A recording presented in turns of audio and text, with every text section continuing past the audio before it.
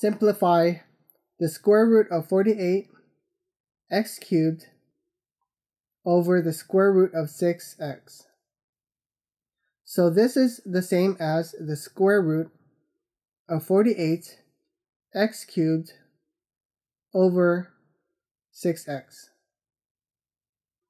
So now we have 48 divided by 6 is the square root of 8 and x cubed divided by x is x to the third minus 1.